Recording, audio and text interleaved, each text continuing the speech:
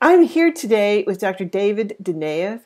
He is an internist. He's specializing in lifestyle medicine. His focus is on prevention and treatment of chronic diseases through nutrition, fitness, and stress management. He's a clinician, he's an author, he's a researcher, and he's a motivational speaker. Thank you so much for taking the time to be here today. Well, thank you for having me, Jeanne. Well, my gosh, uh, this when I heard this story about you, I, it blew me away. You were diagnosed with cerebral palsy as an infant. Share this journey with us, please. Uh, sure, sure. I was diagnosed when I was one or two. I can't remember because I don't remember at one or two, but I wish I could. When my parents took me to different doctors, different orthopedists, they wanted to do surgery because with cerebral palsy, there's spasticity, and 80% of cerebral palsy patients have spasticity, and that's the type I had spastic mm-hmm. cerebral palsy. And they wanted to cut my cauda equina or horse's tail of my spinal cord to reduce this spasticity. And they also wanted to cut my Achilles tendon on my right side. Now, this would have reduced my spasticity, but it also would have left me in a wheelchair. Oh, and right. And fortunately, my father was a physician. So he didn't want to hear this. So they shopped around and they looked at all different physicians and they found this great physician at the Hospital for Special Surgery named Leon Root, who was recently the president of the Cerebral Palsy Association. He was a pediatric orthopedist. And he believed that I could work this out through lifestyle modifications. Now, lifestyle really? modifications, yes. Now, what year was this? This was about 1971. Wow. Right. This guy right. is like light years ahead of um, most people. Right. It was light years ahead of most people. However, it didn't involve nutrition. It involved more focused on exercise. Okay. But that's what orthopedists do. But this was light years ahead of everybody else. And he told me I would be able to work out, work out, and uh, through a lot of fitness and through a lot of physical therapy, I'd be able to be better and get to where I wanted to go and be like everybody else, or at least try to be like everybody else. And what would happen with me in the meantime was every time I took three steps, I would fall on my face. And so I learned to pick myself up. Okay. And it was a big motivator because every time I walked, I would fall, or every time I run, I'd fall every three steps Aww. or so. And I wore I wore a brace all the way up to my hip. That was um, really motivating to do what I needed to do, and that was focus on the physical rehab. So mm-hmm. luckily, through years of physical rehab, I don't need the brace, and my foot used to be turned in on my right side about 90 degrees and my uh, left, uh, my right arm um, was about uh, 90 degrees bent, and my hand, my right hand, I couldn't really use the dexterity. So my parents didn't tell me why my brothers could take piano lessons and I couldn't. And so I always wondered why I wasn't able to take piano lessons. And the reason was I didn't have the dexterity in my right hand. So this to me was a motivator. And I didn't, I wanted to be like everybody else. And then when I got to the point where I was like everybody else, I knew I could keep going. And so it was a great motivator to do this. And I mm-hmm. give a lot of credit to my parents and I give a lot of credit to Leon Root, uh, Dr. Root at the Hospital for Special Surgery. So if it weren't for them, I don't think I would have been able to do this. So this is sort of organic for me and this is my way of paying it forward. Mm-hmm. Well, do you still have any symptoms today of, of the cerebral palsy? Well, I have, I'll always have some symptoms, and it's always a reminder. Um, I still have a limp. And so when I get tired, I limp more than when I'm not. But now people ask me, Oh, did you hurt your leg? They don't have any idea that I have cerebral palsy. Yeah. And when I'm in the gym, people ask me, What supplements are you taking? Because you're really well defined. And I have to laugh because I think to myself, I'm just a scrawny guy who was suffering from cerebral palsy. And now people are telling me that, are asking me what supplements I'm taking. And I even had this guy in the gym the other day, and this has happened to me several times, this really big guy who takes his headphones off, turns to me and says, You work harder than anybody I've ever seen in the gym.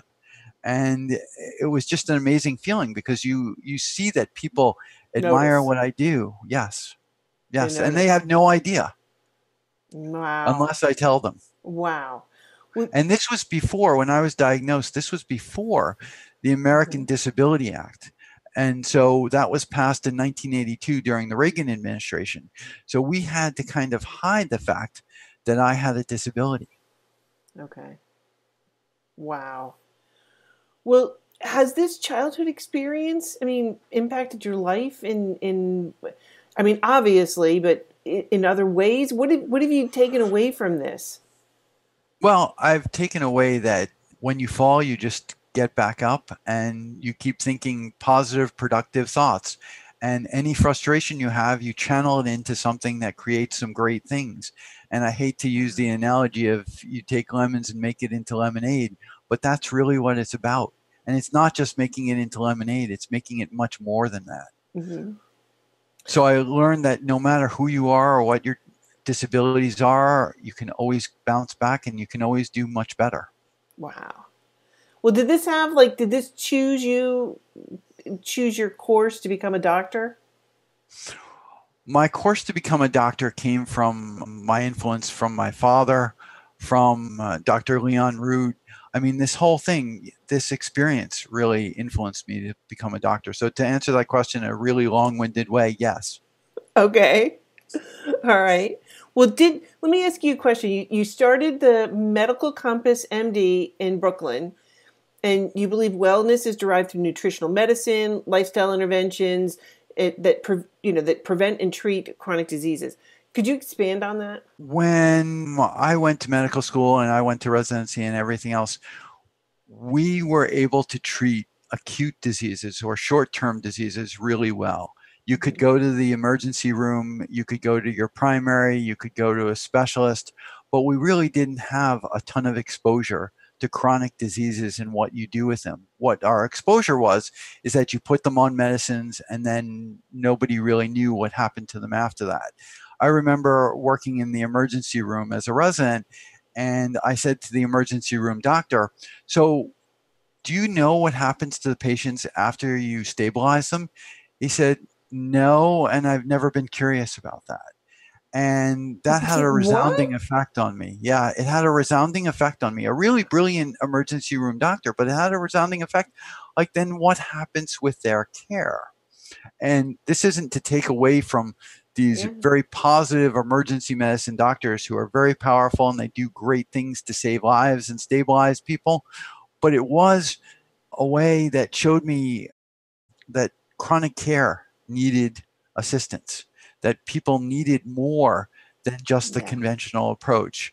So I started looking outside and that's when I ran into what is either lifestyle medicine or integrative medicine. I call it integrative medicine because mm-hmm. it's an integration of both conventional medicine and lifestyle modifications, including the uh, nutrient dense diet, as well as stress management and fitness. And what I find is that, unlike conventional medicine, there's reversal of disease. You can't mm-hmm. reverse disease with conventional medicine for most chronic diseases, barring like hepatitis C with Harvoni that um, Gilead Sciences has put out. That's a lifesaver. I mean, those are far, you know, few and far between. You don't find the case where you really reverse or cure any diseases. But this has given us a very powerful uh, tool in the armament of medicine that we never had before. And we're on the precipice of really minimizing chronic diseases and letting people live a healthy lifespan, if not a longer lifespan. Right. So when a person comes into you, how, mm-hmm. what do you do? What? Well, when a person comes into me in their first appointment, I do a very thorough history, physical exam, um, body impedance scale. And when I say body impedance scale, I mean height, weight, body mass index. But people focus on that. And mm. they talk about um, BMI all the time. What's my BMI? What's my weight? And they miss the point. It's not about that. What it's really about is it's about fat, fat percent, visceral fat, the fat mm-hmm. that's around your organs, um, muscle mass, total body water, give you a sense of dehydration or not. Mm-hmm. And these are the elements that are very important when you're talking about body composition. And you want to know these because what makes you obese is not your BMI, but it's actually your excess body fat. Mm-hmm. And so people who are not obese but have high body fat, in other words, their weight is normal range in the BMI, are what we refer to as thin on the outside, fat on the inside.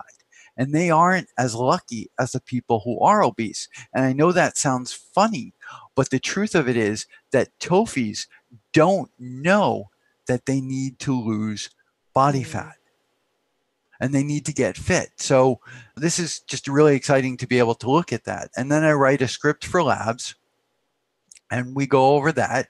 And then the next appointment um, is usually two to four weeks later. And we talk about the um, lab results and we talk about lifestyle modifications, why they're important and what they are specifically to the patient. Now, in terms of labs, I look at labs differently. Even though I can order mainstream labs, which I do, and I can order some others. I use a mainstream house, either LabCorp or Quest or whatever it happens to be.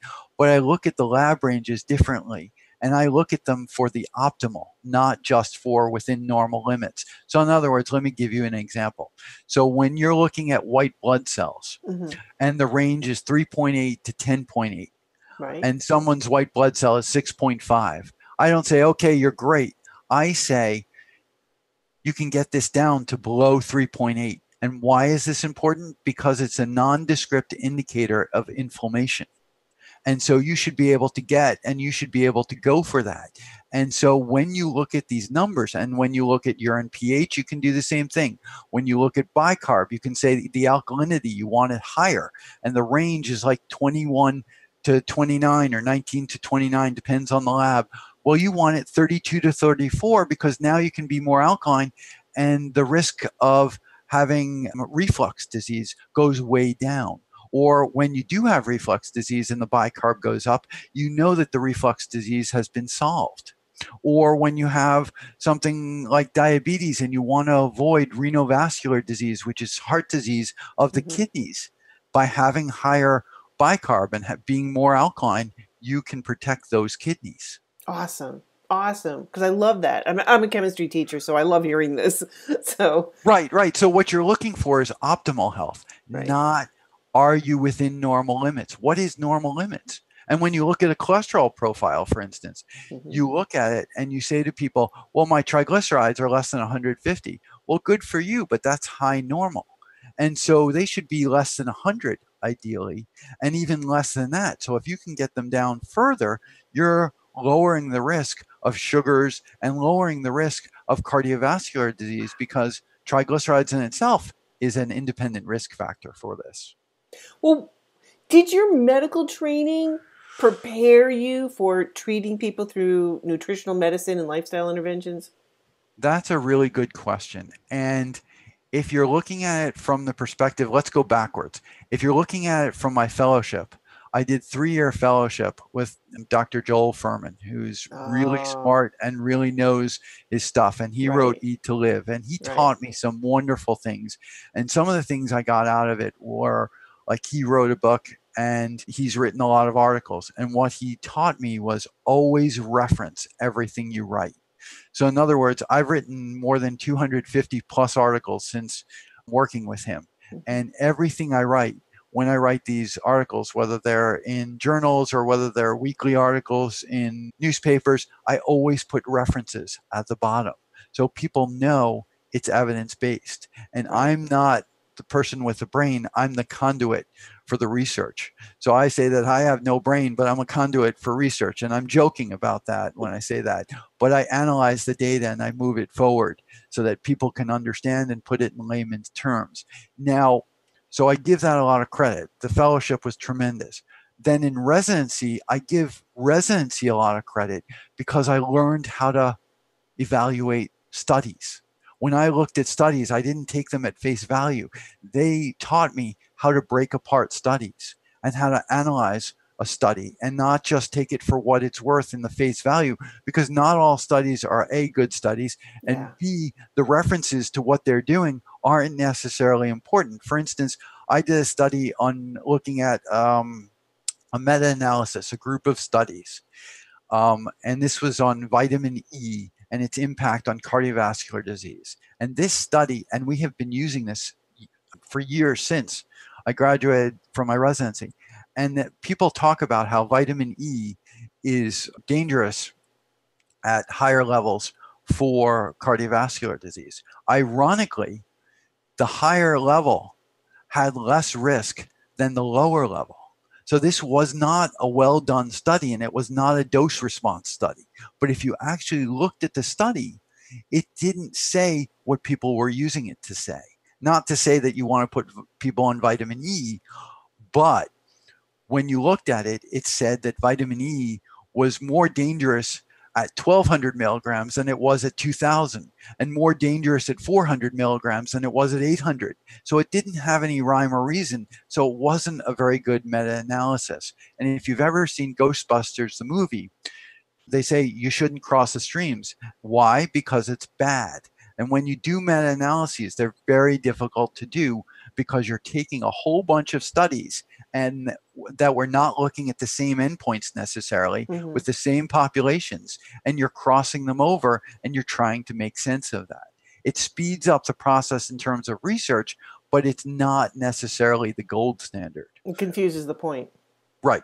Absolutely. As far as um, uh, medical school goes, I had one course in nutrition. And One so that- course. one course. But at Mhm. least I had one course. Okay. So you see, as it graduated up and up and up, I got more and more exposure. So my residency helped me analyze, and my fellowship, well, my fellowship was integrated medicine. Wow. Especially working with Dr. Fuhrman. I mean, wow. Yes, How yes, that lucky was are you? that's a once in a lifetime oh opportunity. Oh my God. Right? Right, right. Wow. I learned so many things that are invaluable. Wow. Well, what is your thoughts on, on medications? I mean, do you still prescribe them? Well, that's interesting. I believe that medications are a good thing when used wisely. I think that medications are needed for short term. I think that they help bridge the gap. I think that you can't say that um, all medicines are bad. I think that some people will always remain on medicines, but that you can get them down. You can change them to lesser medicines with uh, fewer side effects. But when it comes to medications, most of the package inserts um, for what the medicines got approved for are based on between six months and two years of data. So we get into danger when we have patients on medications and we leave them on medications for 30 years. So, for instance, let's take an example proton pump inhibitors like Prilosec, that's over the counter, or Nexium, that's over the counter. Have you heard of these? Oh, absolutely. Okay. So when I was before I went to medical school, I was a pharmaceutical rep and I was on a launch drug for HIV. And this launch drug, I remember having a, a guy present to us and he told us that proton pump inhibitors had the cleanest profile for a reflux disease and that there were no side effects. And compared to HIV it was nothing. It was easy. It was the greatest drug. Now fast forward about 20 years. Now we look at proton pump inhibitors and we see that when we've had these people on proton pump inhibitors for 20 years, we now see B12 deficiencies. We now see fractures because of leaching of calcium out of the bone. We now see absorption problems. Right. But even worse, there's now a small side effect. It's a 25% increase in risk. Now, it was a small event rate, but a 25% increase in risk in a small side effect that only happens once. It's called death. So when people are on small, you know, death, you know, it's one of those things that'll never hurt you again, Right. but you won't be coming back either. So Yeah. proton pump inhibitors are not Good things. Right. They're not good things, for, especially for long term. They were meant for the patient to use for two to four weeks and for the doctor to use for four to six weeks and then reassess. We seem to have left them on that. And the same thing happens with many other medications. And it could be used for, for instance, there's another medication for diabetes. Um, If you leave the patient on for more than three to four years, there's an increased risk of pancreatic cancer. Wow. So, I mean, it's not about medicines being good or bad. Medicines have their place and they can be very valuable, but you've got to be very judicious in how you use them. And short term, they're very good. And for bridging the gap when people need them, they're very good. And for getting them on the lowest dose, they're very important. But just to, the, the thing that frustrates me the most is that when people are struggling with cholesterol or have heart disease, doctors will sometimes and I don't want to mention any doctors or any specialties or anything else because I'm not pointing the finger at anyone specifically. Right. But what I want to say is doctors will sometimes go for the highest dose of statin. And the FDA even told us don't start people on the highest dose. And if you don't have to use it, don't use it because it can cause all these problems with leg pain and muscle pain and increased diabetes risk and these problems with memory issues and on and on. And yet you'll still see them on very high doses. So, what you want to do is if they're on medications, you want to go low. You want to start slow and go low, is the phrase. Start slow and go low. And somehow we've lost that. And when I was in medical school, that was the phrase that they always taught us, which is start at the lowest dose and don't move it up very quickly. Go slowly and see how the patient reacts because everybody, not everybody, but everybody is different. Clearly. Absolutely. Well, on your website, one of your articles really caught my attention. Just one? Just one. Well, there's several. There was quite a few actually, but this one in particular really, you know, just made my antennas go up. Woo! Okay. Okay. And it is where do we stand on calcium supplements? So okay. this is kind of a controversial topic, so I wanted to hear what you had to say about this. Well, you're putting me in the hornet's nest. I am. Because it is one of the trickiest questions to answer. It is. And it's uh, trickier than you think. And the reason is that when I order supplements for people or I, I, ask them to take supplements, I don't actually sell supplements. I don't want to be biased by supplements. And so when I tell people to take a supplement, it's based usually on a deficiency that they have either from the lab or from some kind of side effect where they need it because of a medication. Like CoQ10 you take it with a statin mm-hmm. because a uh, statin will lower your CoQ10 levels in your body. So but it usually comes from a lab. So that when the levels are low you give them that supplement. So if you have low magnesium you give them magnesium or if you have anemia, megaloblastic anemia, where uh, you need B12, you give them B12. Or if you might have tingling and numbness, and then it turns out that your B12 is low, or your methylmalonic acid is low, even though the B12 isn't low, you still need to give them B12. You look at the levels, but with calcium, it's different because you never know what the levels really are because the levels almost never go low. And the reason the levels almost never go low is that if they do start to go low, you have a gland called the parathyroid gland that releases calcitonin, which causes, or actually the parathyroid hormone, which causes, not calcitonin, sorry about that, the parathyroid hormone, which causes release of calcium into the blood or resorption of bone into the blood. And so you release that calcium, so you never really know what the level of calcium is. And calcitonin does the opposite. Calcitonin actually puts calcium back into the bone. So it's the parathyroid hormone that releases calcium into the blood. And that parathyroid hormone gets higher as the calcium in your blood gets lower. So you never really know if someone's deficient in calcium because the parathyroid fools you into thinking they're fine and that you never know until it's too late and they have osteoporosis. Now, in terms of calcium, why are we using calcium supplements?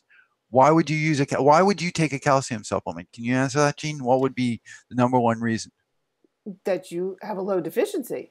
Right, but also you want to prevent fractures. right. Fractures. Osteoporosis. I mean, down right. the road. You want to prevent osteoporosis or bone fractures. Right. Well, there was recently a study that says that calcium doesn't prevent fracture. Calcium and vitamin D together don't prevent fracture. Even though vitamin D helps absorb calcium through the intestines, it doesn't prevent fracture in combination. So it may not work. This was one study, but it may not work. And now it's really put ripples into the idea of what are you using calcium for? And then as far as that's just the efficacy and you want it to mm-hmm. be effective, but the side effects, there have been study after study that have shown that it may increase the risk of a heart attack for men and women. And there are different studies showing that. And that's the article you're referencing. That's the article that I wrote and talked about how calcium can increase the risk of heart attacks. And what happens is you can actually get deposits of calcium in the blood vessels. So, wow. so that's that going to narrow the arteries and then speed up, you know, when the blood's flowing over, right? Potentially. We don't know exactly. We do coronary artery calcium scores now. We're just starting to do them, but we really mm-hmm. don't know the exact meaning of them because calcium plaques are much harder than typical atherosclerosis plaques. Right. So that we don't know if they break off or we don't know how they work. But yes, potentially they can narrow. We don't know the answer to that. But we do know that calcium has the potential to increase the risk of a heart attack. So, how do I feel about calcium? I feel like we should get calcium mostly from food, foods that contain calcium. And when it comes to supplements, fortified foods like soy milk with calcium uh, fortified or some other foods that are fortified with calcium, that's like taking a calcium supplement. That doesn't count as food that naturally has calcium in them.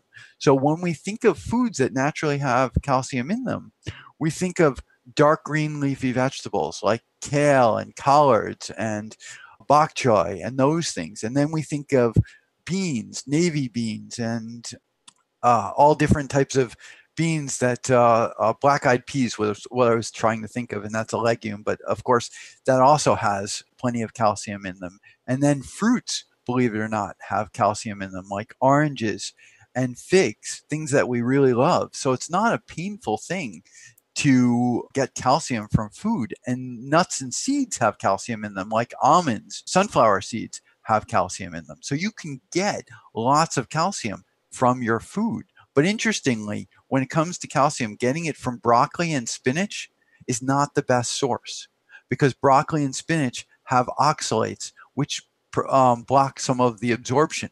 So you get half as much absorption from broccoli and spinach. I just thought I'd throw that in there for you. Thank you. Uh, I'm always learning. So, and then, and then one more. I'm sorry. No, just keep going. It, I'm it learning just, so much. It was just because you threw this twist in there. The levels that we tell people who are 50 and over to take are about 1,200 milligrams, and it used to be 1,200 milligrams in supplement form, and they used to take 1,200 milligrams all at once. Now the um, Institute of Medicine, and I know it's changed its name, and I think it's the Academy of Medicine. I'm not sure what the current name is, but it used to be the IOM, and it changed it last year or the year before. They've now said that we should get most of that calcium from food. Interestingly, when I look at patients that come to me, the first thing I do is I look at their supplements, and I see that a lot of patients are on 1,200 milligrams of supplement for calcium. Mm-hmm. And the interesting thing about that is we can only absorb 500 milligrams at any one time. So the other 700 milligrams get either excreted or worse, deposited in your arteries. Wow. So people should never be on 1200 milligrams or 1000 milligrams or even 800 milligrams or 600 milligrams because you can't absorb it. Yet you see it on the shelves all the time. So this is tough for patients to know. And then now there's also different countries like England has an upper limit for calcium that we need of 700. So we don't necessarily need 1200. That number came from studies that were about three weeks long in the 1970s. So we need more, better studies. We need better studies and we need calcium from natural sources because calcium from natural sources is never going to hurt you. Right. Well, you you, meant, you made a comment back about a study that said, you know, the, the vitamin D and along with the calcium. And mm-hmm. you said that was not together; those didn't handle the fractures. Right. And what did the, the, study find find that did? Well, it wasn't about what found that it did. It was about what it found that these 2 didn't. didn't. Yes, okay. it was more about the surprise that it didn't. And so this wasn't a search to find out what worked. It was a surprise that it didn't work because we expected it to work. And so we were surprised when it didn't. Well, so what about vitamin D supplementation? Because we're we're in the we're in the northern part. We don't get sunshine. I mean, a lot of us are not outside. Okay. About vitamin D supplementation, it's a really good question. But the um, problem is, is it the vitamin D that's the problem when we have all these diseases? Or is the vitamin D just happens to be low when people have these diseases? Which came first, the low vitamin D mm. or the disease? Because when we replete the vitamin D, nothing seems to help that disease. Let me give you an example. If you have MS, multiple sclerosis, mm-hmm. an autoimmune disease, you want people to have 40 uh, milligrams per deciliter of vitamin D, a blood level of 40 or more. And what you find is when you replete that level to 40 or more, they don't do any better. The multiple sclerosis patients, it doesn't mm-hmm. help them at all. What you find is it's very hard to replete it because of the autoimmune disease, but it doesn't actually help them. Right. So, where is vitamin D beneficial? We're not quite sure at this point. We know that people are deficient in it. We know that people have insufficiency. And when I say deficiency, it's less than 20. But when I say, um, and it's nanograms, sorry, nanograms per milliliter, not uh, milligrams. Sorry about that. I made a mistake on the uh, findings, but it's nanograms per milliliter. But when you find people that are less than 20, they have deficiency. And that's when you need to give them vitamin D, definitely. When they have 20 to 30, it's questionable whether you need to give them vitamin D or not because that's insufficiency. And then when they have 30 and above, you don't necessarily need to give them vitamin D unless of course they might have autoimmune disease or they might have depression where you want higher levels however the upper limit should be around 50 55 and i went to a conference at uh, Harvard several years in a row, about five years in a row. And I raised my hand at the first conference because they said that uh, you should give them vitamin D. And I said, What's the upper limit? And there were 500 of my colleagues in the audience. And I thought to myself very timidly, What's the upper limit? And they said, There is no upper limit. The sky's the limit. There's no downside to giving a lot of vitamin D. Next year, I go back and I ask, what's the upper limit for vitamin D? Because at this point, I knew from Dr. Fuhrman, Joel Fuhrman, that the upper limit from people who are found naturally to have vitamin D, the highest levels was about 55. And that was someone in Hawaii or someone who was exposed to sun all the time close right. to the equator. So then they said, oh, well, it should be 100. And then the year after, I went back and I asked the same question. And they said, well, it should be less than 60. And then I went the year after and they said, well, 50 to 55. And so the range has remained between 30 and 55. But I thought it was ironic because it came down and it came down and it came down. But the first time I asked the question, it was like the sky's the limit. So, what do we know about vitamin D? That a lot of us are insufficient, some of us are deficient in it.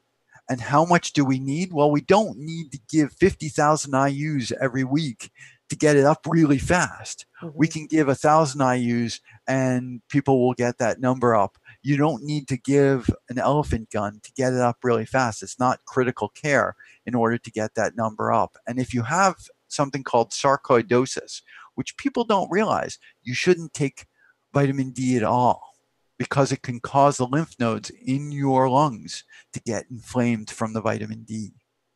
Wow. Hilar lymph nodes. So, you know, vitamin D isn't the panacea we thought it was going mm-hmm. to be. Wow. Okay. Well, another article that caught my attention, because this hits home for me. Most of my family is obese. And the article was Can you be obese and be healthy? So, take it away. The, the short answer for that question is well, the short answer is no. And I'm, and I don't mean to disappoint, but the short answer is no. But I want to qualify that. And what I mean by qualifying that is you can have obesity and get metabolically much healthier. So, in other words, I've seen patients and I've had plenty of patients who have diabetes and have gotten their A1Cs, which are their three month sugars, down to lower levels that are non diabetic levels, reversed their diabetes, gotten off four different meds, and that can be insulin included, and reversed their diabetes, but they may not have lost as much weight as they should have in mm-hmm. terms of what we should say. Well, weight loss is most important. And the same thing can be said for in cancer. It frustrates me because it seems like, and I don't mean to pick on one group, but if I were going to, it would be oncologists. They seem to think that weight loss is the only thing that's important in cancer. And the truth of it is, weight loss is just one element but this is not on not all oncologists, of course. When you generalize, you assume and you make a fool of yourself. Right. But of course, but I was presenting in front of oncologists about all the benefits of how to reduce the inflammation. And what they got out of it was okay, so you can lose weight, and that's the only thing we've got from it. And then this was the chairman of the department, and I said, Well, thank you for sharing that. And in the last three minutes, I recapped what was really important, but they didn't get it. And so I have a patient, or I've had several patients who have had high inflammation levels, like they had ovarian cancer and their CA125 was 10 times normal. And we were able to bring it down to normal levels by reducing the inflammation. And then the cancer people said, oh, look, see, the drugs are working.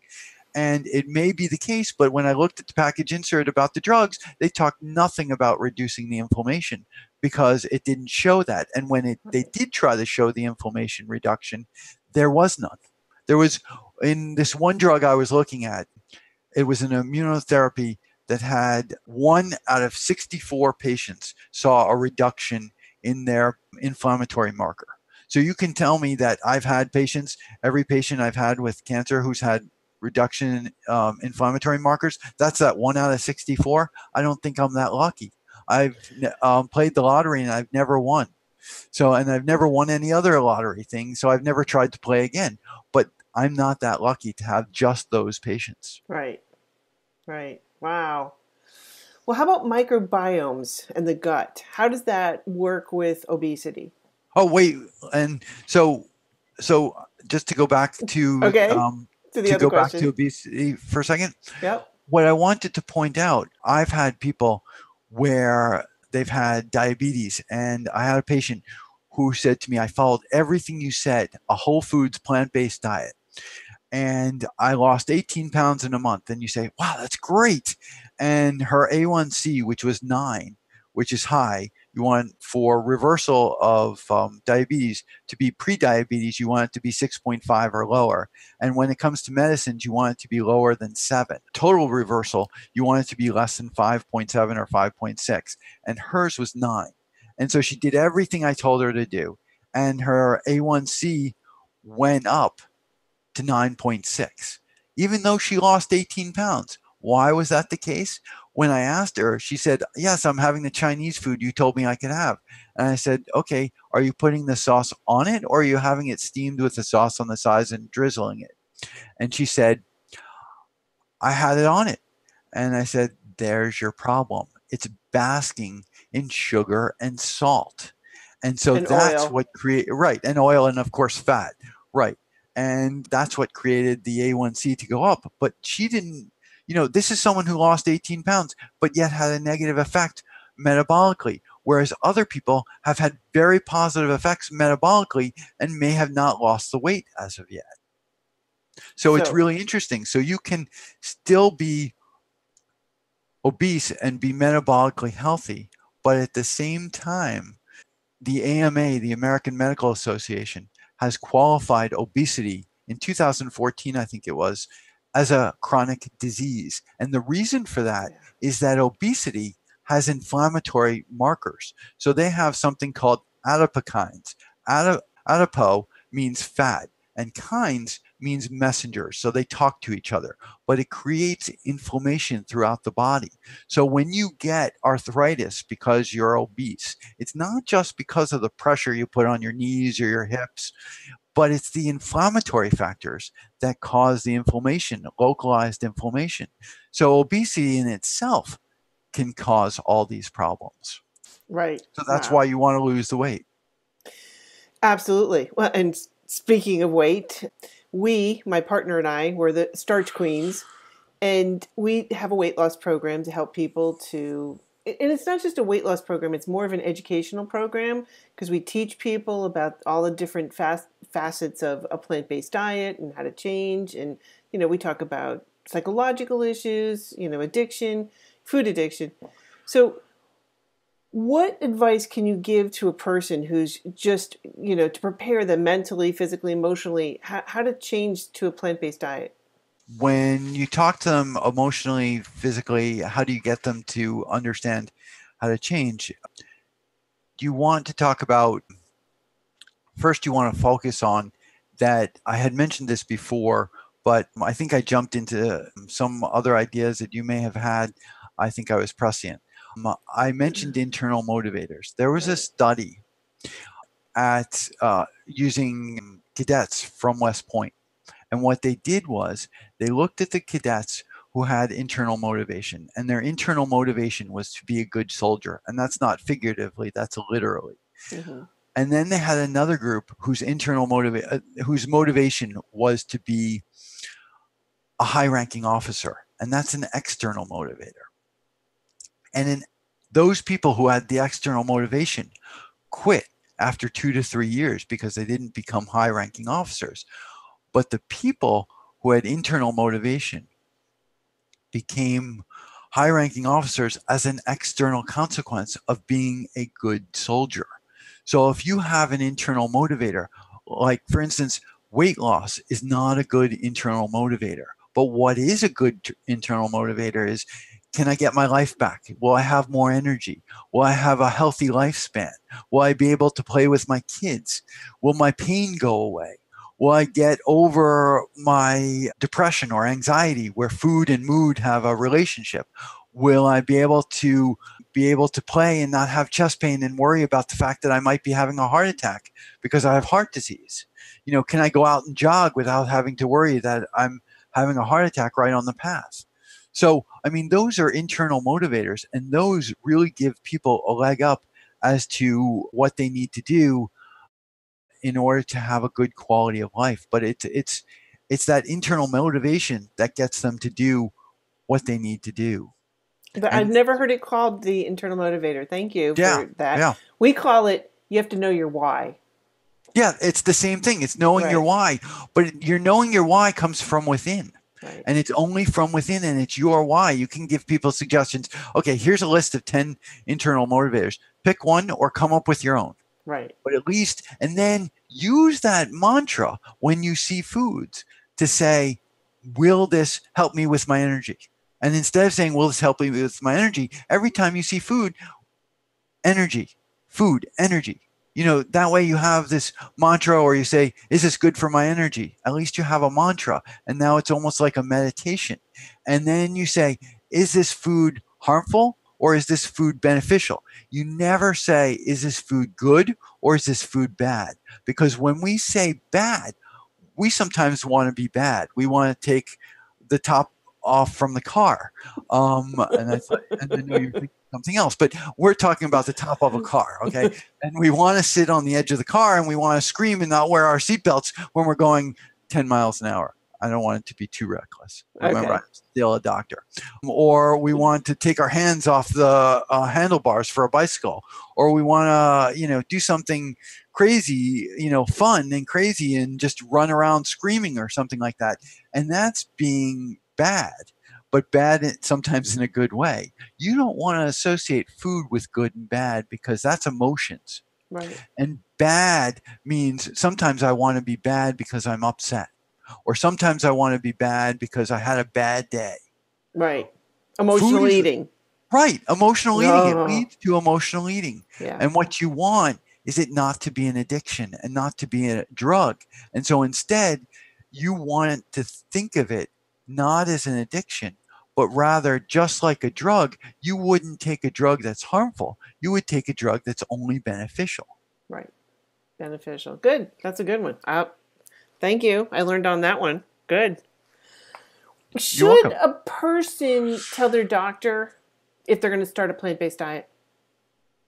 Um, I think people should tell uh, their doctor whenever they make any kind of change like that. A plant based diet is a dramatic change.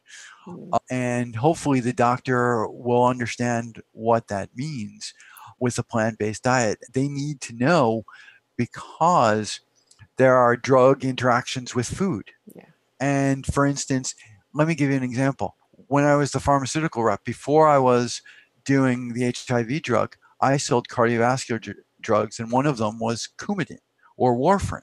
Yes. And when you eat dark leafy greens, it causes warfarin to go down in efficacy. So it's not beneficial anymore. You're losing benefit by eating dark leafy greens. Now, isn't that sick that a drug?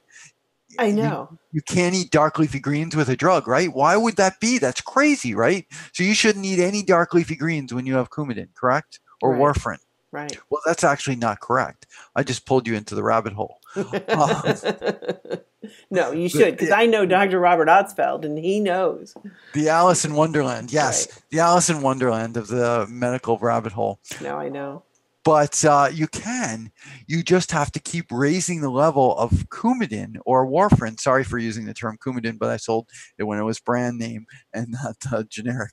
All you have to do is raise the levels. And I know that sounds crazy, but if you keep eating greens, dark leafy greens, which have vitamin K in it, you just raise the level of morphine. And I've had patients as a medal um, to what they're doing and as a badge of honor they keep raising the level of coumadin, which means their dark leafy greens have gone up and up and up. So their nutrient levels have gone up. So as their coumadin goes up, so does their nutrient levels. And I'm working with cardiologists on this with several patients, and they think it's great because then the patient can't stop eating the same amount of greens because then they'll be over medicated. So the patient always has, has to, to keep up with the the greens. So in some ways, yeah. metaphorically, we should all be on a blood thinner like Coumadin, but ho- gladly we're not. Thank but goodness. Yes. We should be on a blood thinner like Coumadin, uh, right. but uh, we're not. And so, in a way, um, there's interactions with drugs, so we have to know that. Well, Another like, thing, or heart, you know, if you have high blood pressure. Yes, and, and that, or if you're diabetic, my gosh. Right Right. If you're di- I was going to say if you're diabetic or you have high blood pressure and you start going on a plant-based diet and you reduce the amount of sodium and you put in the um, plant-based which helps with the endothelial dysfunction of your arteries, that's the internal part of your artery if that changes and the stiffness starts to go away, then your blood pressure goes down. You need to cut that blood pressure medication mm-hmm. immediately, which means you need to take your home blood pressure and tell your doctor. Or in the case of diabetes, you need to show that if you're doing this, you can get off insulin or you can get off oral hypoglycemics. And if you don't, sometimes you go into hypoglycemia where your sugars drop like a rock. And so you don't want to cause problems where people are on the floor because you gave them a plant based diet. So, yes, well, it's very How soon important. are we talking? How soon? Uh, how soon can you see these effects? How soon can you see these effects? It depends on the patient, but you can see these effects in a week or two you can start seeing these effects in two weeks. I mean, I've seen patients drop their cholesterol by 150 points in two weeks. Yeah. I've seen their blood pressure drop dramatically to normal levels where I had to cut their blood pressure in a week. It can be a week, it can be two weeks, but again, no body is the same. So let's yes. not hold anybody to two, one to two weeks. I mean, typically it is usually four to six weeks but some people can do this very fast. And the more they adapt right. the change in a plant based diet, it can be really quick. It can be almost as quick as medications, but it can have more of a resounding effect than mm-hmm. medications. And the side effects are beneficial. Yeah. Or you might lose weight. Oh my God. But this is the other thing about weight if you start losing weight and you don't tell your doctor you're on a plant based diet, they're going to start freaking out because they're not going to know that it's not weight loss that didn't happen on purpose. So they're going to think it was involuntary weight loss and they're going to think you're sick. You're going to think yeah. cancer. Let me give you an example of a patient who didn't tell their doctor. my patient changed their diet and was great and she's wonderful and she has one of the highest nutrient levels and she's doing really well well her grandson she started to give a smoothie a plant-based smoothie to and then and she told the parents and the parents took the grandson to the pediatrician and the pediatrician had really high carotene levels. And the pediatrician was really concerned because he thought, oh, he's got hepatitis. He's he's got all these problems with his gallbladder. He's got all these problems when he's turning orange, he's turning yellow, he's turning, you know, and he's becoming jaundice. So we need to do something. And he wanted to run all these tests. And my patient said, remember, he's drinking the smoothie and that's yeah. what it is. You know, right? Time out. Exactly. Time out. He's drinking this procedure. Don't do all these procedures on him. Don't make him go through. A, they wanted him to go through a CT exam. They wanted to check his belly. They wanted to do all these different invasive right. procedures because they were freaking out over that number. And then the parents explained to him it was because of his diet. So there's reasons you need to tell people.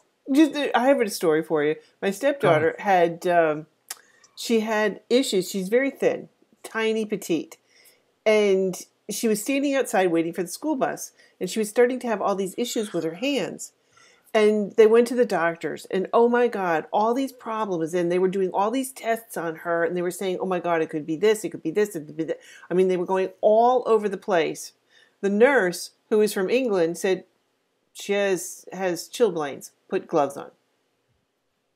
Wow you know and wow. i mean and I, my husband was telling how how scared they were for like months on end right right right months. because everybody thinks it's these rare diseases exactly. or it's these dangerous diseases or it's raynaud's i mean i've touched patients and my hands are cold in the winter time sometimes they're cold because the water i'm using is cold when i'm washing my hands right so they're like do you have raynaud's and i said no i have something called body heat conservation where all my body goes where all my heat goes to the central portion of my body so i get cold very infrequently. And then that means that my extremities are cold but the rest of my body is not and i feel much more comfortable. So i don't have raynaud's but they're very quick to want to diagnose me and i think it's very nice of them to want to diagnose me we diagnose them but it, and it's very caring of them. But you know i just right. want to explain to them that no i don't have these things.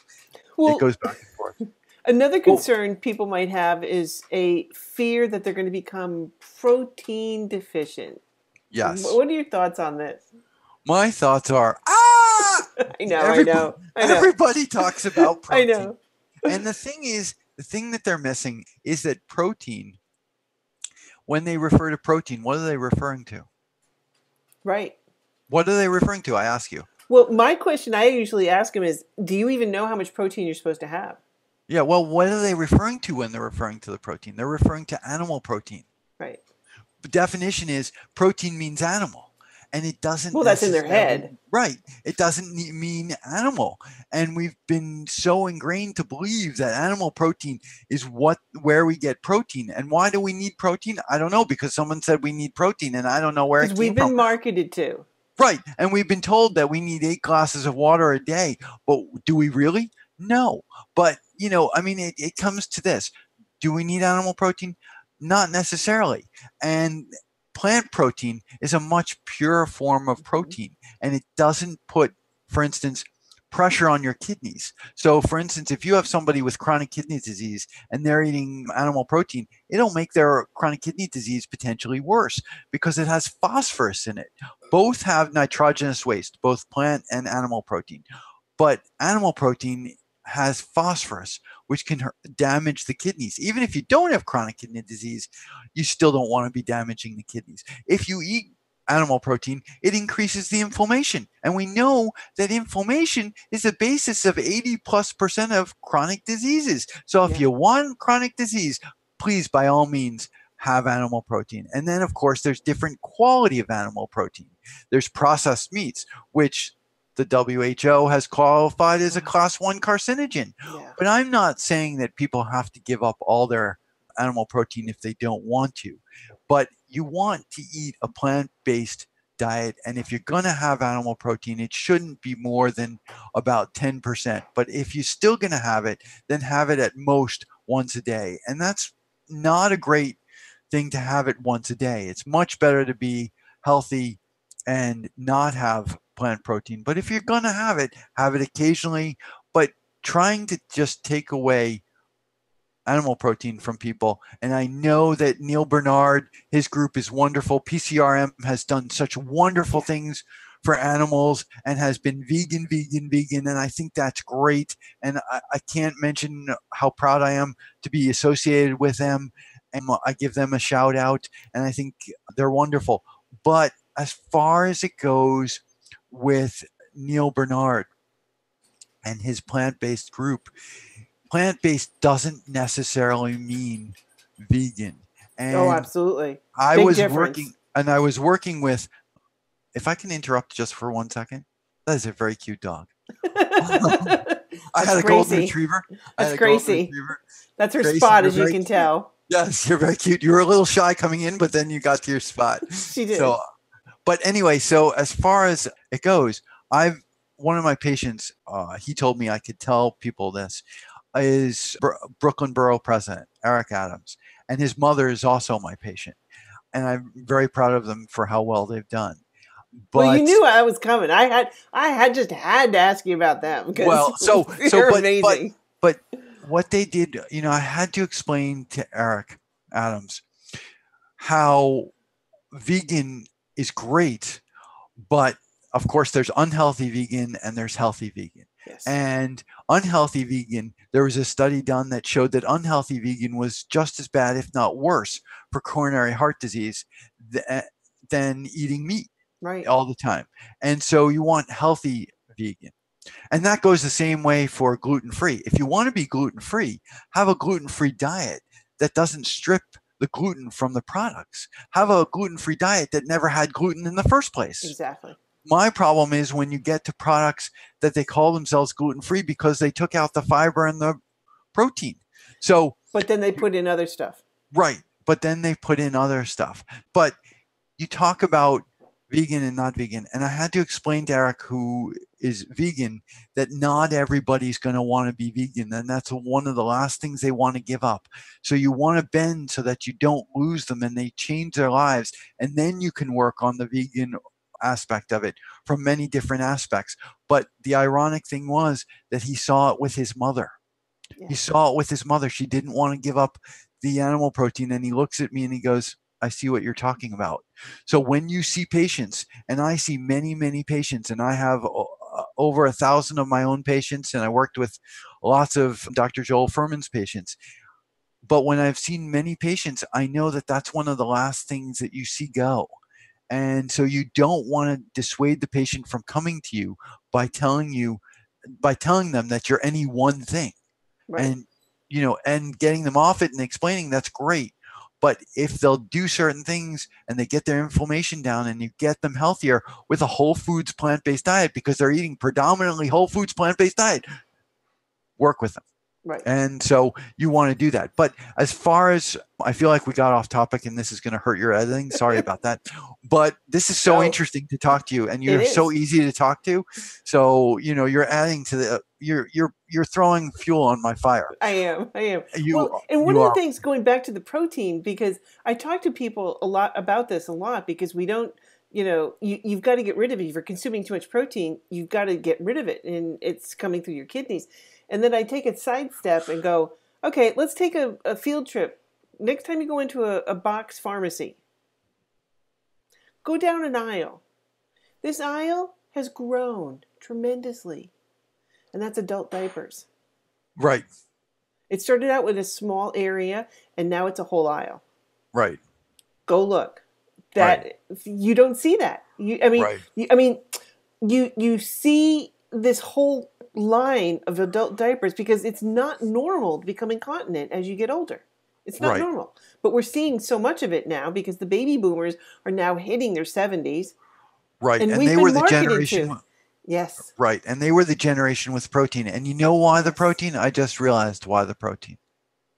It had to do with World War II. Yeah, right after World War II. And, and the rationing. Exactly. And so it became something of a of a plus when you could get protein. Chicken in every pot. protein. Right. Chicken in every pot meant you were rich. Exactly. Meant you were nutrient dense and you were not. You were Yeah. just dense. Um, sorry, I had to throw that in. good but, one. that um, was a good one. but- Good one. Thank you. But um, it's really not following the protein that's important. What's Yeah. important is following the fiber. Everything Yes. that has fiber has protein.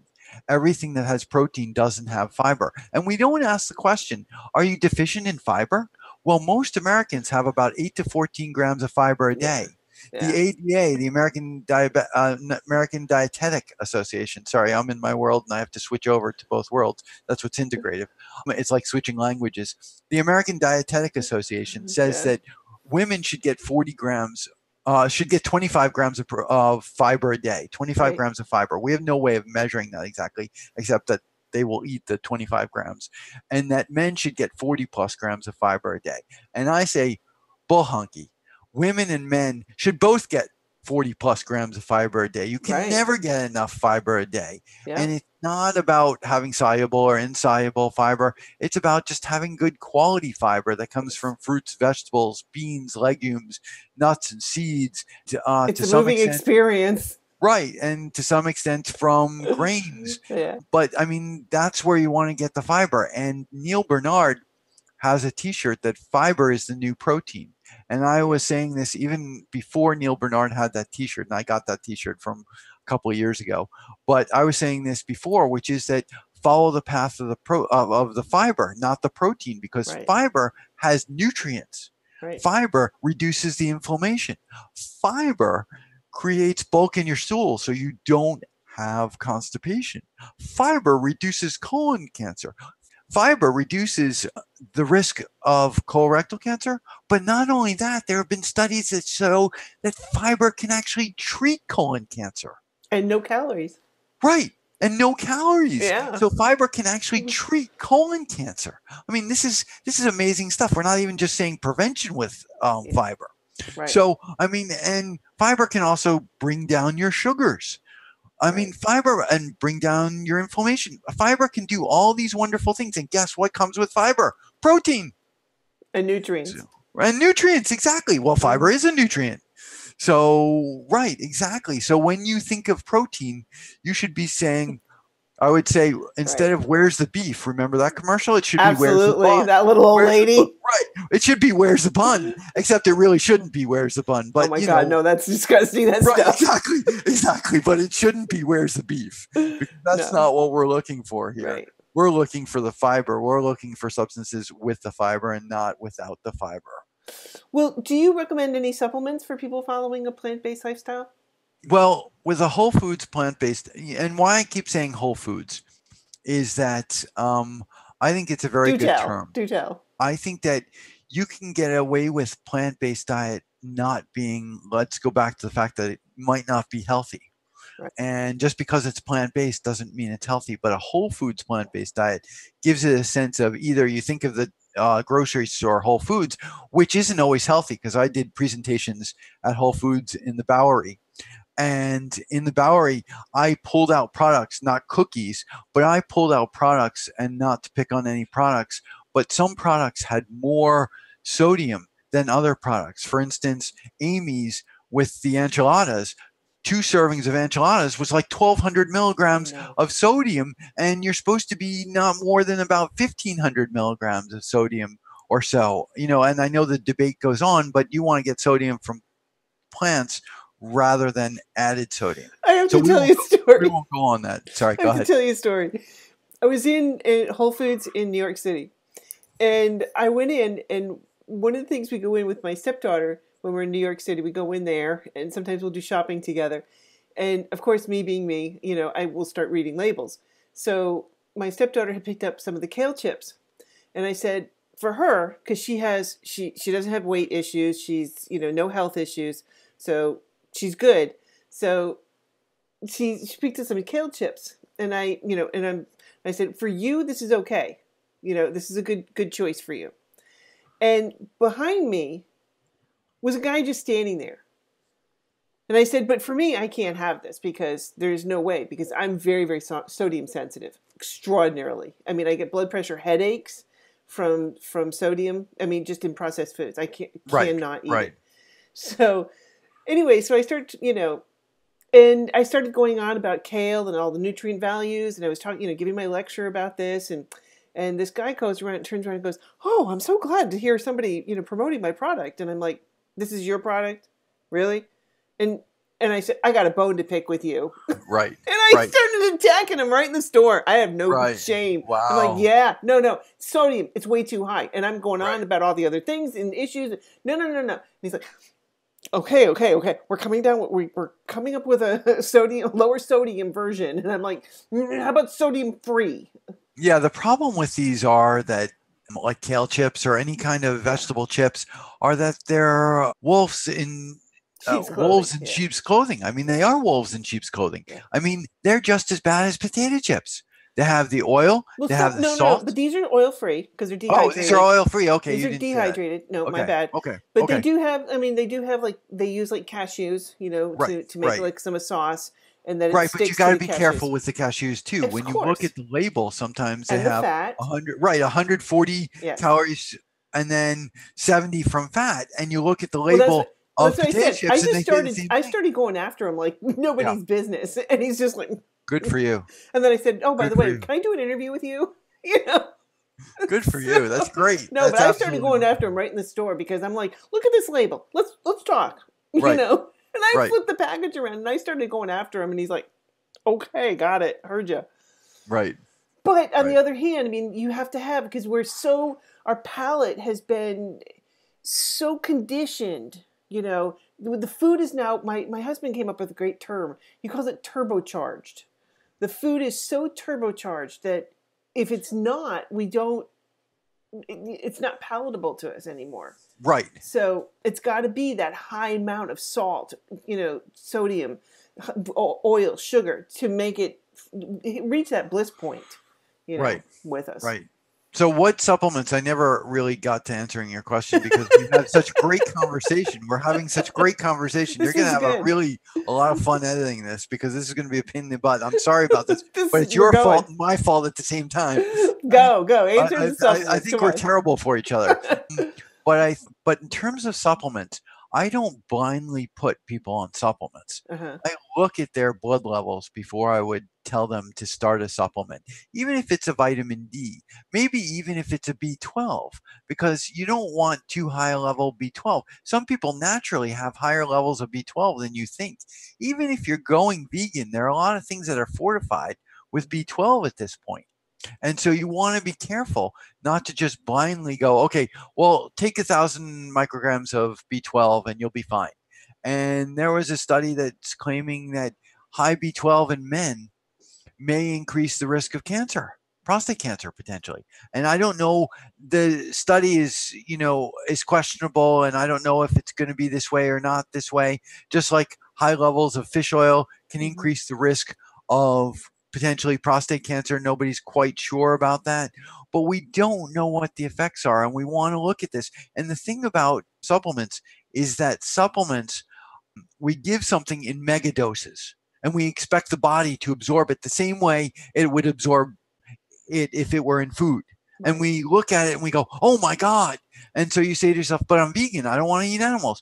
But you can get it from foods that have been fortified, and you're going to run into that. So you want to be careful Right. but you still want to be for instance there was a study just the other day talking about fish oil and Mhm. dry eye and we've been giving fish oil uh, the triglyceride formulation because it absorbs better to dry eye patients to help them with that situation and then there was a study just out of the university of pennsylvania this is brand new i'm sharing this with you and it can't be more than two weeks old Do tell. and and what it showed was it had about 250 patients and i might not be correct exactly on the number but it was a two to one ratio for the treatment group as opposed to the control group.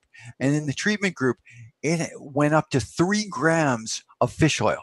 So we're not talking small levels of fish oil because we wouldn't really give a lot more than three grams. So That's it went all out. It went from like 500 to three uh, 500 milligrams to three grams.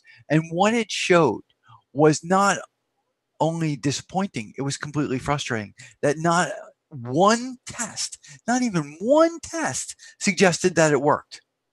And this study was, um, I think this study was, I can't remember the duration, and that's, um, you can catch me on the duration, but I think this study was, I want to say it was, I, don't remember the duration, and I want to say it's a year, but I can't remember if it's a year.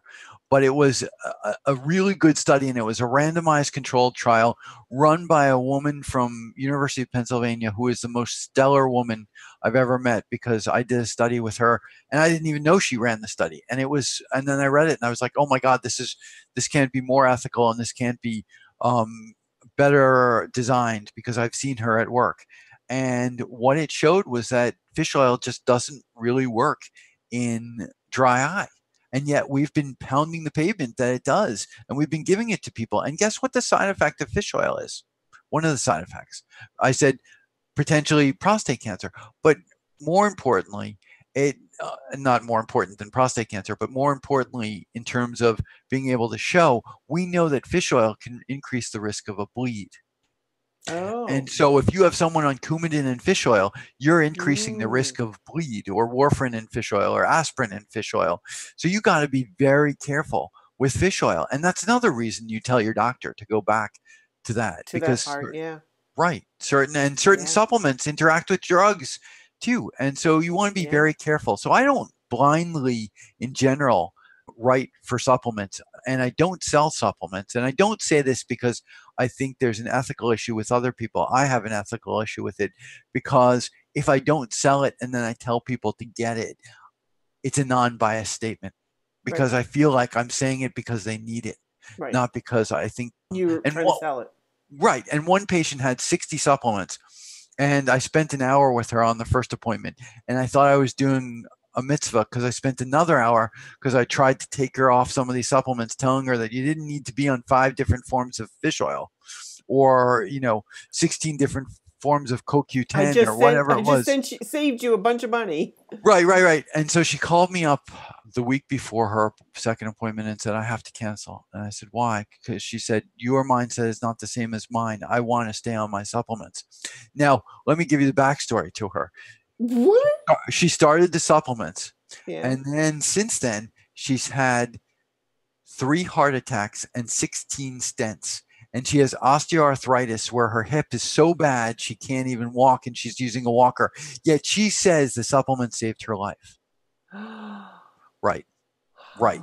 And so she couldn't have me as her doctor because I attempted to take her off her supplements. Not all of them, just started to peel them off saying you don't have to spend and she felt like i was invading her space do you, you just not want to cry right i did i did i was like you know i uh-huh. really wanted to cry you know i really wanted to cry because i could have helped her and i spent an extra hour with her because i had an extra hour so i did it at the end of the night and I spent that extra hour after I'm exhausted because I felt like I was doing a service. And her daughter seemed so encouraging for what I was doing.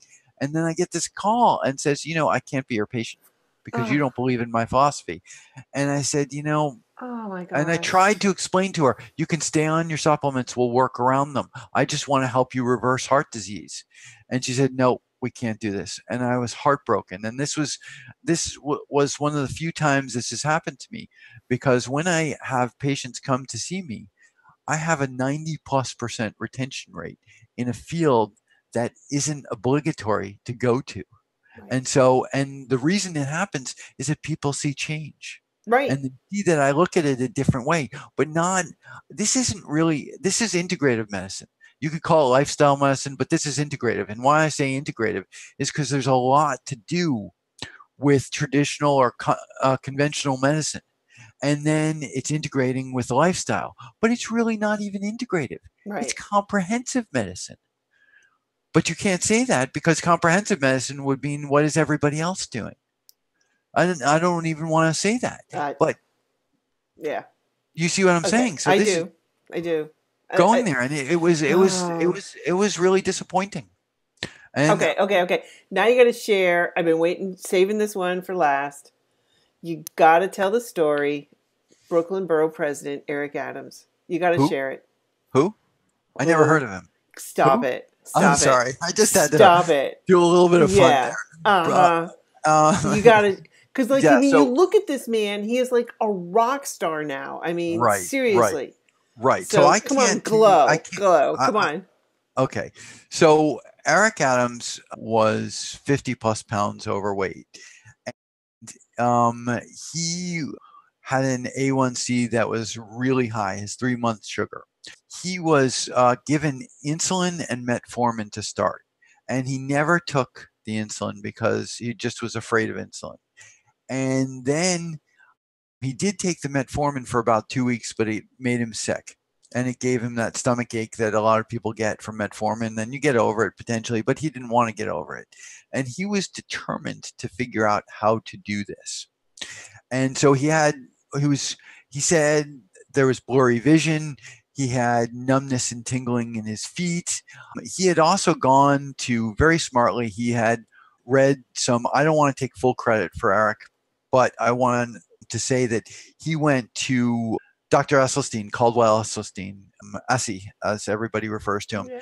at one of his seminars for a day and listened to him. And he listened, he read some of Dr. Uh, Dr. Michael Greger's stuff. Mm-hmm. And so that was wonderful. So I got someone who was a zealot and he really wanted to change. And he's done wonderful things.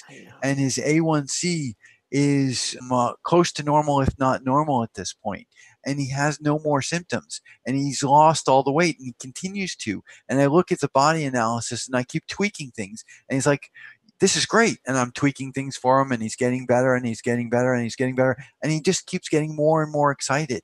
And he keeps trying things and he keeps questioning what we're doing and we keep altering and he keeps getting better and he keeps getting better.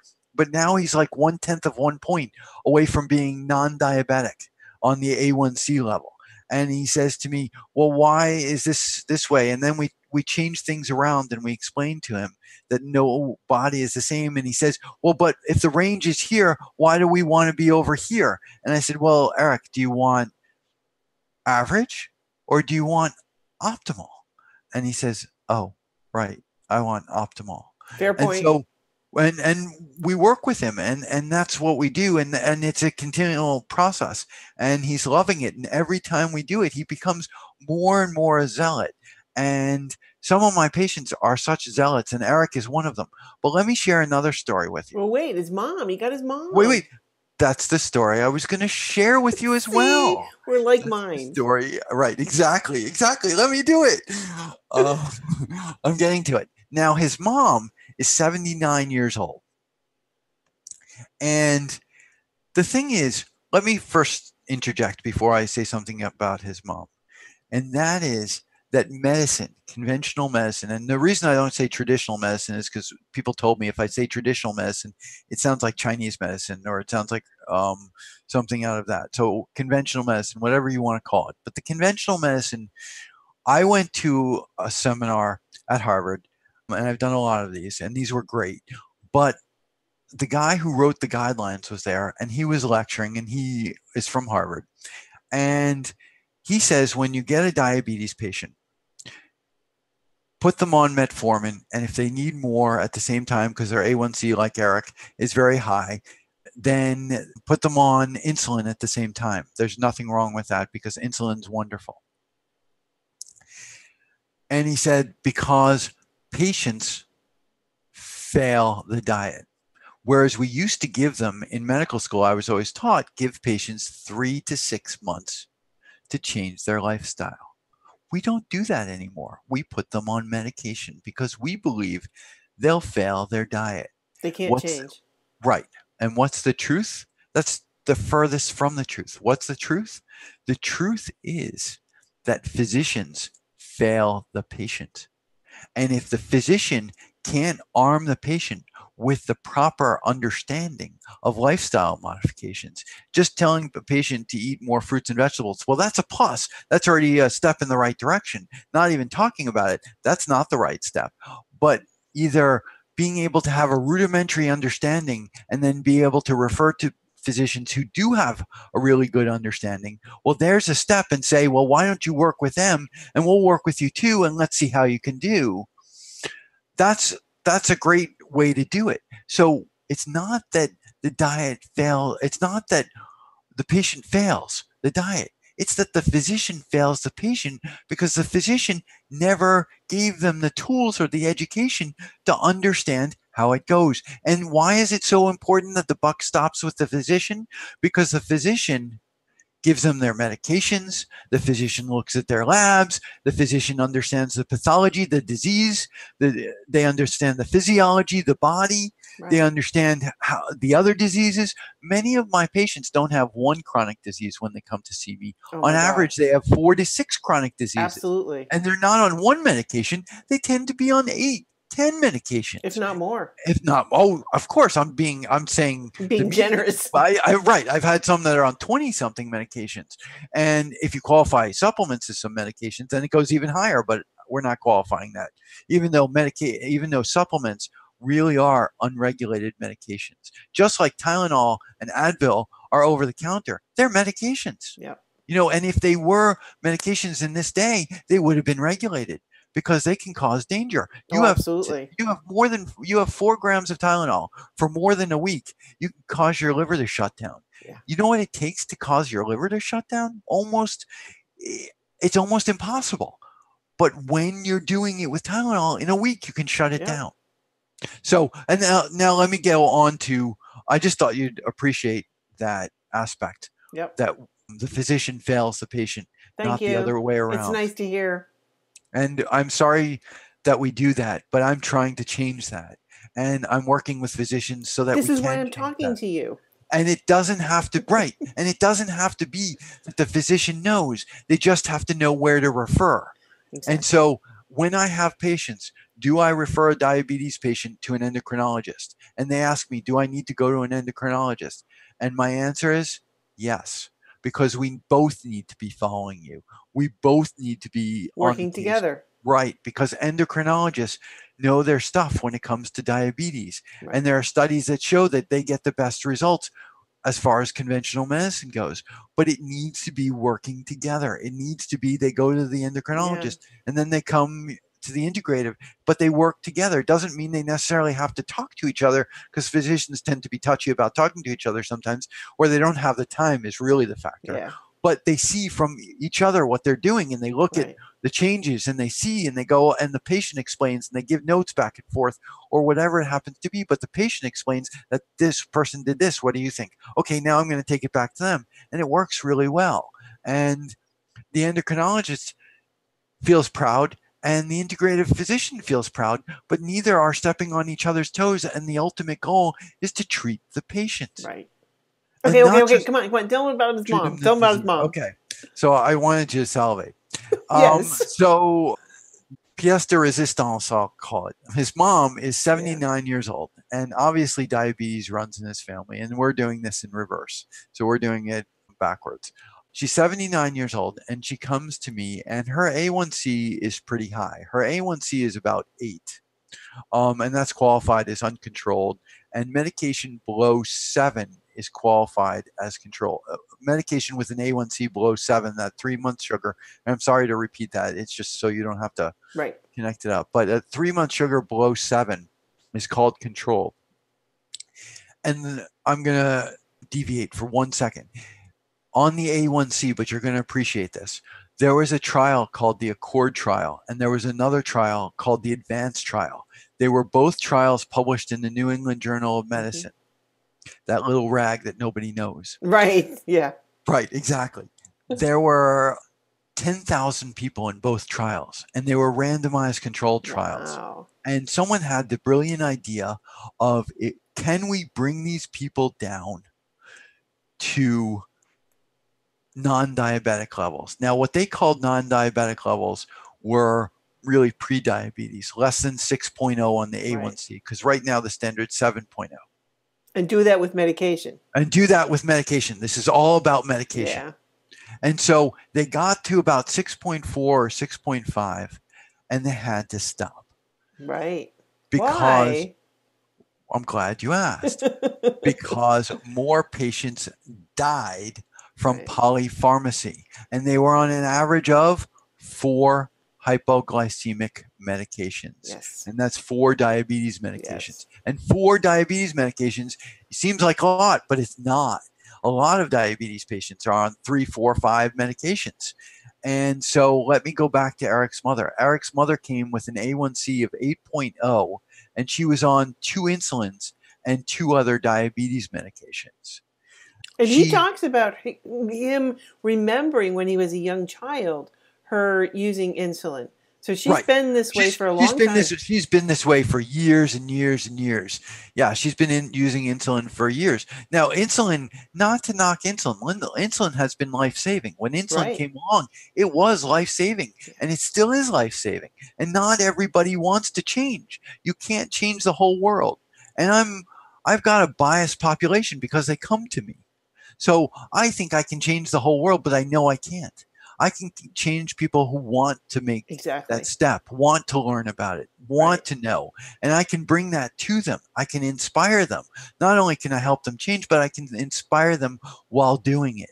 And I can make the medicine go down a little easier by giving a little sugar. And when I mean sugar, I mean metaphorically, I can make them laugh. And I try to use humor in my mm, lectures and in my presentations and in my one-on-ones with patients i try to make them laugh and i know that it was hard to make you laugh but you know yeah. I, I, I, try to make them laugh and I, I find that it works by saying some outrageous things and they laugh and we work together and once they laugh i know they're going to do really well.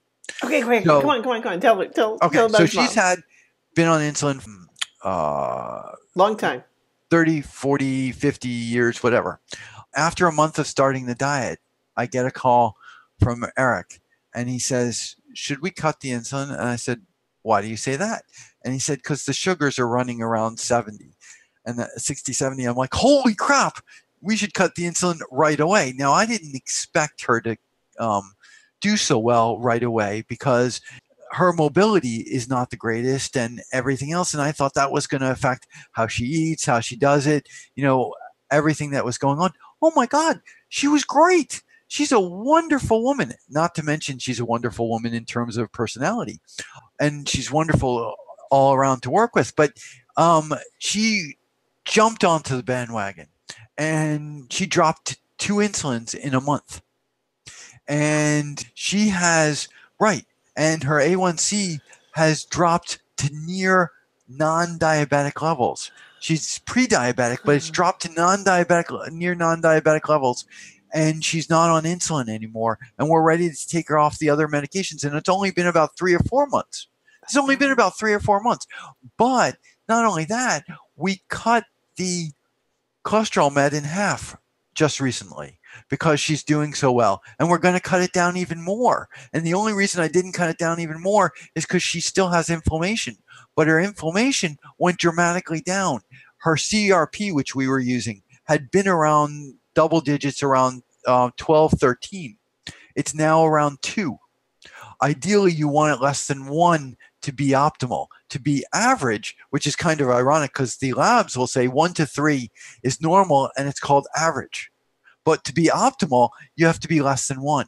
And so we want to get her less than two at least before we cut more of the statin because the Jupiter trial showed, and this is a guy from Harvard again, sorry to keep quoting Harvard, but this is a guy from Harvard who ran the study that showed that people who had less than two on the CRP or the inflammation and had lower cholesterol did much better than people who just had lower cholesterol and higher inflammation.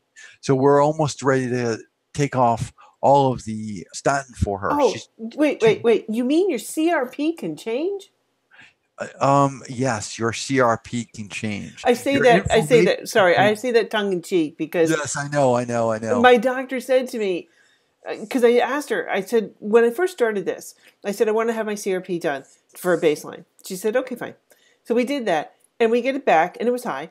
And I said, well, I want to do this again in six months to see what changes. And she's like, why? I, would like to see right. if it changes. Right. Right. She's like, well, no, because the insurance is an expensive test, and the insurance are not going to pay for it, and da da da da da. And I said, by the way, it's not an expensive me, test. Humor me. Right. Humor me. I, I, I want to do it. Okay. Well, and I said, I'll pay for it if I have to. Whatever. And when it came back, it was it was dramatically reduced. And and her response, well, it was probably a bad test the first time. Right. Right. That right. was that well, was my response let me also let me expound on the fact that when we talk about diabetes with Eric and his mother, the number one risk factor for diabetes patients isn't the sugar, it's the cardiovascular disease. They die prematurely of cardiovascular events. Right. Medications don't prevent the cardiovascular event. There are some new medications that now reduce, and when I was looking at um, one of those medications called Jardiance reduces, they're called, the class is called SGLT2 uh, inhibitors. They're SGLT2 co-transport inhibitors. And what they do is Jardiance was shown to reduce the risk of cardiovascular death supposedly by 38%. You say, wow, that's great. And all cause death by 32%. That's great too. But and and 14% in terms of reducing the risk of cardiovascular events. You reduce it by 14%. That's great. Right. Of course, of course, aspirin reduces the risk of cardiovascular events by 20%. So already the aspirin shows that it reduces that event. But let me put it to you this way. Would you get a computer that had virus protection that protected your protected your computer so that it cut out 38% of the viruses so only 62% of the viruses could get through Would you get a virus protector? What would you say about that virus protector? Right. Not good. You're laughing. You're Not laughing. good. I mean, Not good. come on. I can reduce it 38% so you won't get that virus. Mm-hmm. What if you I can know. do it with lifestyle modification where you can reduce that macrovascular aspect that the drugs really can't touch very well and reduce it down to almost nothing, down to below 1%, It's just where the risk the is below symptoms. 1%. It's not. You're not going towards the cause. Right. Right. And the side effects of these medications are you oh, got to be careful of renal failure or kidney failure. And you've got to be uh, careful of urinary tract infections. And if you get dehydration and if you get de- dizziness and, you know, all these side effects from this L- SGLT2 inhibitors. And not to say that everybody can do this. And it's not easy to do this. But when you do change your lifestyle, your taste buds change. Yes, Food tastes better. And in a week or two, your taste buds really change. And I've heard this over and over and over again from my patients and many others. Your taste buds change. So you're able to do this. This is why it's a lifestyle change or a lifestyle modification as opposed to a diet. A diet is a restriction where you can't have certain things and you're just cutting out your favorite things that have that make your taste buds go wild. So you can't have those, but you can have a dried ham sandwich with, you know, whole grain bread, and that's better than having it with bacon. Or I picked the wrong one, not ham sandwich, but you can have Yeah. a whole a dried turkey sandwich with Russian dressing, but not hold off the cheese. I mean, that's not really going to get you where, you, or hold off the bacon. That's really not going to get you where you want to go. And right now, we're a cheese crazy um, oh, environment. I did a whole series with Neal Barnard on his book, The Cheese Trap. So y it's amazing. I mean, if you haven't read that book, wow, powerful. Yeah, well, you, you know what I say Powerful. to people about cheese? I say you can have cheese on one condition. This is one of those. Remember, I said you the be- allow cheese. Yes. I said you can. I allow cheese. I said you can have cheese on one condition, Okay. and it's it's not the condition. Uh, well, maybe it is. Dr. Weil believes.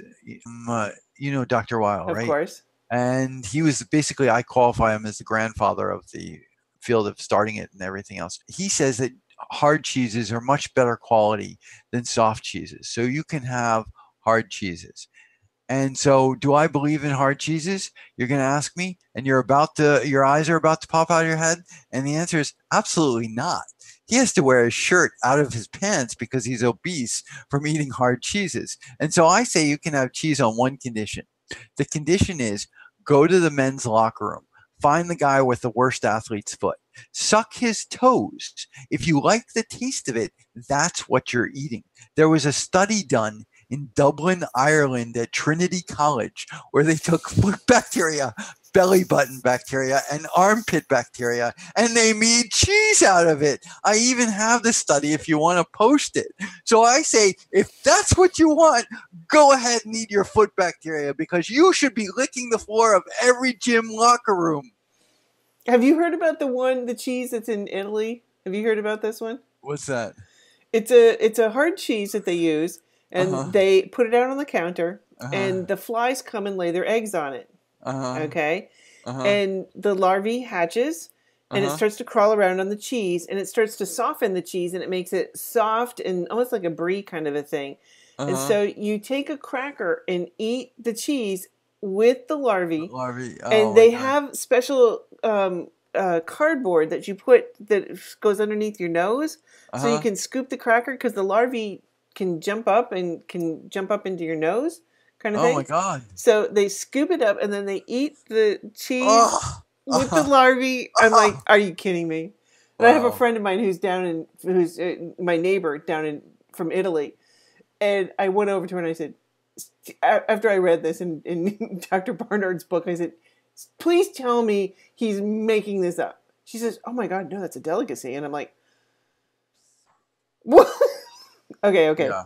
yeah, all right, Yeah. that made your night, right? Yeah. Yeah. All right. Absolutely. Well, anyway, Dr. Dunaief, it has been an absolute pleasure talking with you. I mean, I think we've covered uh, pretty much everything under the sun, but I'm sure Yes. we'd have more time next time. I'd love to talk to you again and uh, come up with more topics. Wow. You've been a fount of knowledge. Well, I'm glad you enjoyed. I enjoyed. I can't believe we've been talking for this long. I know. Oh it's going to be fun editing. Oh my god. I'm like, holy crap. I know. I'm Well, like, wow. I, I thought this was uh, when I looked down. I was like, wow, this is like half an hour. I thought went by, but you know, or Time flies when you're having fun. Yeah. And I certainly have. So thank you so much. well, sorry for taking so much time. no, it's been But- great. It's been amazing. Yeah, I, I enjoyed. It, it was It, wonderful. it has been. It's, I've learned so much. So thank you very much. Well, thank you for the opportunity. This was great, and the questions were wonderful.